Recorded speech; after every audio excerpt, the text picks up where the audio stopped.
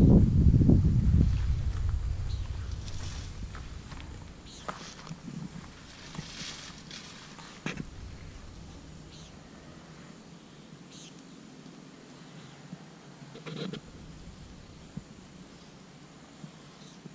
Sergeant WarDawg.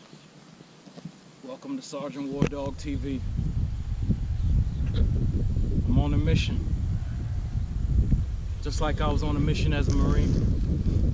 Sent to fight for this country in Iraq three tours during the first three years of the Iraq, Iraq War. I'm here again, trying to go to war for the minds and the hearts of America's war veterans with PTSD and TBI. Help me to bring them out here to clear their hearts and minds again. Help me find them, help me again find, help them